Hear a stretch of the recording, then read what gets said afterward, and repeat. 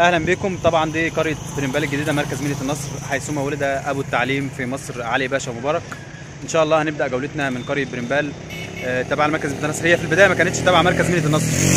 يعني زمان كانت تبع مركز دكرنس لكن الآن هي تبع مركز منية النصر. ودي البلد اللي اتولد فيها علي باشا مبارك على طريق آه، المنصورة المنزلة. طبعا في طريقين. هي البلد بتطل على الطريقين ده أحد الطرق. إن شاء الله هندخل مع بعض نشوف بيت علي باشا مبارك ويا ريت تستمتعوا معانا بجولتنا. هنا بقى البيت ده هو اللي اتولد فيه علي باشا مبارك اللي أنا بشاور عليه ده اللي خارجة منه الست بظروفها يعني. البيت ده ولد فيه علي باشا مبارك سنة 1823 ميلادية. ساعتها كان والده آه، معاه سبع بنات وهو الابن الثامن. الابن الثامن لسبع بنات وبالتالي فرحة والده بيه كانت شديدة جدا لدرجة إنه يعني تفائل باسمه وحب يسميه سعيد. فعمدة القرية هنا عرف إن علي باشا مبارك عن طريق إنه بعت أحد الغفراء غفير يعني أو خفير بعته عشان يشوف آه، هيسميه إيه. فلما عرف إنه هيسميه سعيد جاله على الفور وقال له أنت هتسمي ابنك إيه؟ قال له هسميه سعيد. قال له أنت اتجننت إزاي هتسمي ابنك سعيد؟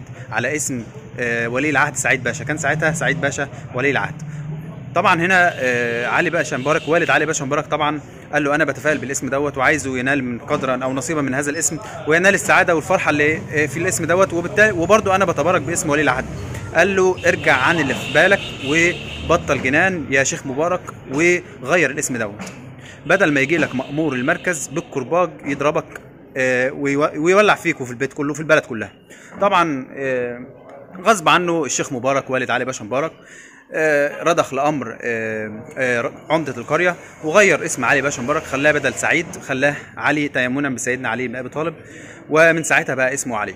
طبعا بعدها آه، تربى ونشأ في القرية هنا قرية برمبال الجديدة. ونشأ وكان في كتاب في القرية بيديروا واحد اسمه الشيخ أبو عصر. الشيخ أبو عصر العيلة دي لا زالت موجودة هنا عيلة عصر. والشيخ دوت كان صعب لدرجة إنه كان ممكن يكره الطلاب أو الأطفال في تعلم القرآن الكريم. ولكن علي باشا مبارك لنبغته قدر يحفظ القرآن وبيقول ساعتها على أقواله إنه حفظه رغما عن أنف الشيخ أبو عصر. لدرجة إن عمدة القرية لما كان بيحب يطمن على مستوى الطلبة كان الشيخ أبو عصر بيصدر له علي مبارك عشان هو الطالب الوحيد أو الطفل الوحيد اللي كان بيكون حافظ القرآن وقتها وبقية الطلبة مفيش خالص. وكان بيحفظ القرآن وكان حافظ الحساب وكان قوي جدا في الحساب وبالتالي كان طالب نابغ ومتميز وكده يعني. بعدها علي مبارك آه، استمر عيشته في القرية هنا لغاية ما جه وقت إنه كان في واحد هنا اسمه عبد ربه وده كان واحد فلاح عنده 10 فدادين. العشر فدادين طبعا بي- بيدفع عليهم ضرائب كبيرة وقتها كان الناس يعني الضرائب كانت شديدة عليهم.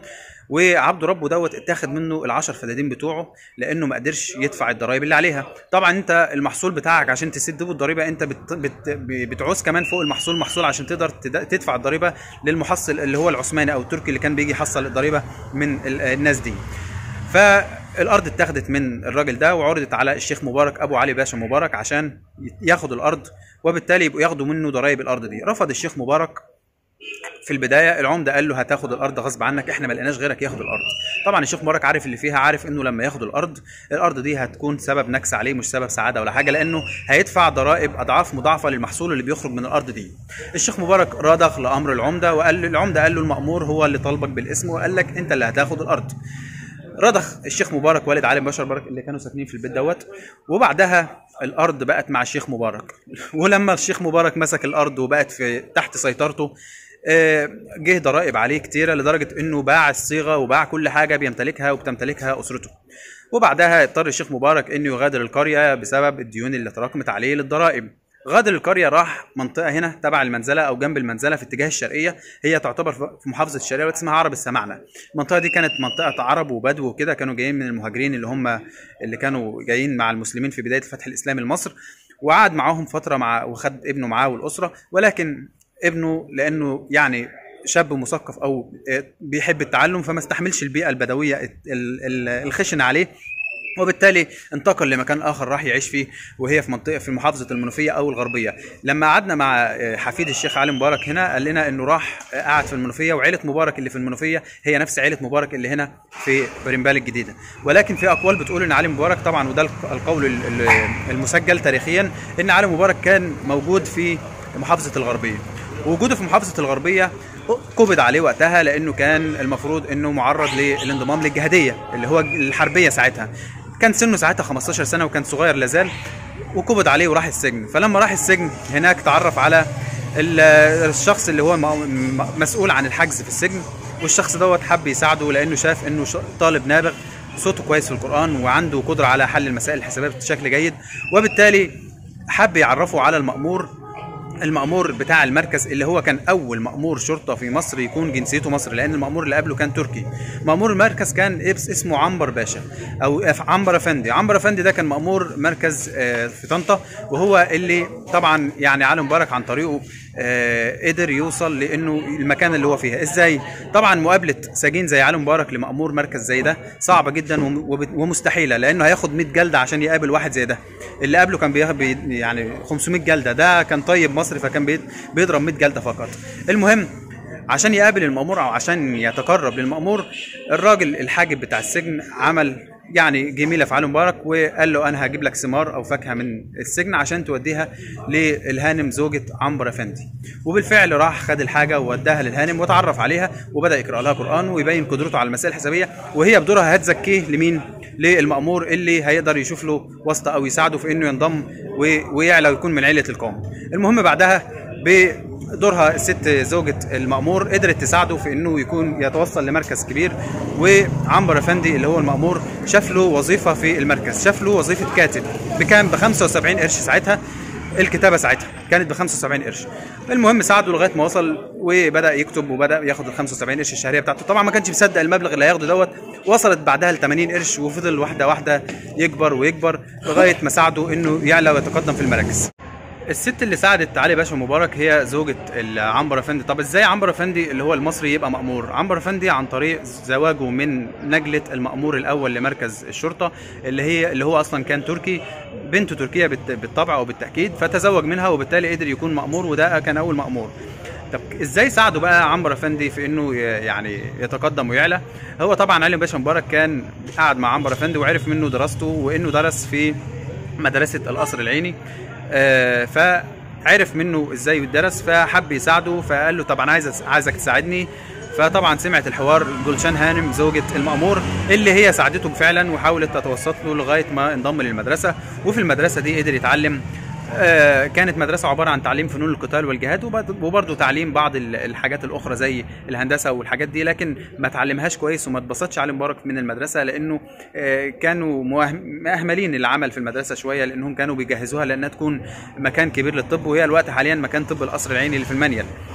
بعدها علي باشا مبارك انضم لمدرسة الهندسة و وبدأ يتقدم والمعلومات اللي حضراتكم عارفينها إنه راح سافر آه، آه، في بعثة مع محمد علي باشا و آه، البعثة دي كان فيها ناس مصريين قليلين كان منهم رفاعة باشا الطهطاوي وعلي باشا مبارك. وبعدها بدأ يتقدم في المراكز لغاية ما أصبح المفروض إنه مقرب من السلطة الحاكمة. وكان علاقته له علاقة بمصطفى باشا اللي هو ناظر المعارف وقتها اللي هو بيعادل دلوقتي وزير التربية والتعليم. آه، مصطفى باشا دوت كان يعني آه، راح له علي باشا مبارك من حيث بقى إن هو إمتى بنقول على علي باشا مبارك أو ليه بنقول عليه أبو التعليم في مصر؟ لأنه راح لمصطفى باشا آه، ناظر المعارف وقال له إحنا عايزين ننشئ مدارس في مصر. قال له طب إزاي؟ إحنا ما عندناش مش هنساعدك بأي ميزانية الوزارة ما فيهاش فلوس. قال له أنت مش هتساعدنا بحاجة المفروض إن المد... ال- الوزارة دي أو المدارس دي هتتعمل على تكلفة الأهالي. علي مبارك قال له الم- ال- المدارس على تكلفة الأهالي وأنت مالكش دعوة أهالي كل قرية هيلموا منها وهنعمل مدارس. المهم طبعا كان ده في عهد سعيد باشا اللي هو كان الخديوي سعيد وقتها اللي كان يعني معروف بفكره المضاد لنهضة التعليم في مصر. ولكن سبحان الله وقتها وفق علي باشا مبارك في إنه يحصل على موافقة ناظر المعارف وسعيد باشا في إنهم يبدأوا يعملوا نهضة للتعليم في مصر. وانشئت بعدها كان ثلاث أنواع من المدارس الكتاب والمدارس الابتدائية والمدارس الثانوية. ودي كان سبب تسمية علي باشا مبارك أبو التعليم في مصر. من الحاجات اللي بتحسب ليه برضو إنه كان آه، قام مع وعكف على تنظيم حفل افتتاح قناة السويس سنة 1869 اللي كانت موجودة في إسماعيلية وكان وكل ليه هذا الافتتاح وكان علاقته قوية جدا ولكن نهاية علي باشا مبارك لم تكن بالنهاية ال- الكويسة بحيث إنه لما وصل وعلى في المناصب ومسك ناظر المعارف بعد مصطفى باشا اللي كان بعدها هو ساعتها كان رئيس الوزراء أو رئيس النظار اللي بيعادل دلوقتي رئيس الوزراء. فمصطفى باشا راح لقى علي باشا مبارك ما قعد كان واخد البشوية ساعتها وما قعد معاه عامة الشعب فطبعا ما عجبش الكلام مصطفى باشا اللي هو رئيس النظار. وساعتها طبعا زعل منه فراح وشاه لمين؟ للخديوي اللي الخديوي بدوره عزله. وبعدها رجع علي باشا مبارك متقاعد وقعد ركن في منزله. بيقال إنه رجع هنا وبيقال إنه ظل في القاهرة.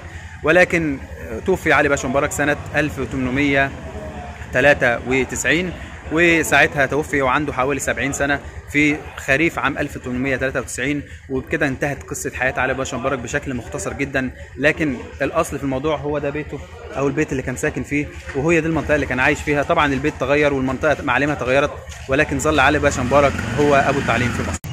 ده طبعا المسجد كان المقابل لبيت علي باشا مبارك بس ما كانش مسجد كانت مقابر. يعني المنطقة دي كانت مقابر. المسجد ده بني من حوالي 40 سنة وكانت هي عبارة عن مقابر. ده المقابر كانت مكان ده وكان البيت هنا وكان في نخلة مش دي طبعا النخله كانت كبيرة نخلة بلح كبيرة. الناس الكبار هنا عارفين النخلة دي. لكن هرجع أقول موقف برضو آه، لعلي باشا مبارك. كان موقف يعني كويس جدا مع جلشان هانم اللي هي الست صاحبة الفضل عليه الست الهانم التركيه زوجة عنبر آه، أفندي مأمور المركز. الست دي كانت ساعدته في إنه يوصل ويتقدم ويترقى في المراكز. بعد ما حصل على البشوية عرف ساعتها علي باشا مبارك إن الست دي تعبت فراح يزورها بعد وفاة زوجها ووجد إنها محجوزة على ممتلكاتها وإنها كمان مهددة بالطرد من المكان اللي هي ساكنة فيه لأنه كان مجاور لاسم الشرطة أو مركز الشرطة في طنطا في الغربية ساعتها. فعلي باشا مبارك اخذها بنفسها ونقلها مكان تاني وعين لها خادم وساعدها كتير عشان تكون يعني يرجع لها وضعها لأن الدنيا دوارة. سبحان الله كانت فين وهو كان فين؟ لفت الدنيا وبقى هو فين وهي فين؟ وراجل طلع أصيل مع الست اللي ساعدته. وكمان وقف معاها لغاية ما وفاتها وساعدها في مكان كويس عاشت فيه. وهنا بننهي قصة علي باشا مبارك من برمبال الجديدة مركز مدينه النصر كان اسمي مؤمن جمعة عبد يونس. وهذا منزل آه، علي باشا مبارك اللي أنا أسكن فيه. منزل الحاج جمعة عبد يونس اشتراه من عائلة علي أحمد علي صالح. وكان في الأول في نخلة أمام المنزل. وطبعا البيت ما كانش كده الأول كان بيت مبني واتهد و- والنخلة اتهدت طبعا يعني. طبعا. والأثر اللي كان موجود من آه، منزل آه، علي باشا مبارك كان في يوجد نخلة هنا عالية جدا.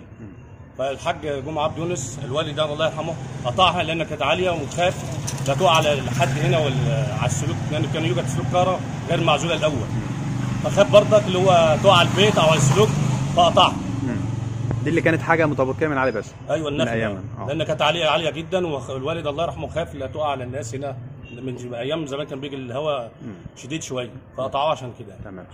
آه، بالمناسبة المتبقي من أفراد عائلة مبارك أو أحفاده الأستاذ حاتم والأستاذ محمد شعبان جمعة مبارك دول آه، حاتم محمد شعبان جمعة علي مبارك وأخوه محمد شعبان جمعة علي مبارك دول آه، أحفاد علي باشا مبارك اللي هم موجود في بربال لكن بيتهم قدام مش نفس البيت دوت اتنقل. ولهم إخوات في مصر لكن هم لهم أولاد طبعا هم سنهم حوالي 60 ل 65 سنة وأولادهم موجودين دول ال- المتبقيين من عائله علي باشا مبارك.